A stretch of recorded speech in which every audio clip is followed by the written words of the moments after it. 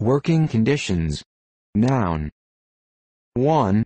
The environment in which one works, as influenced by factors such as cleanliness, lighting, equipment, paid overtime, uniforms, access to amenities, etc.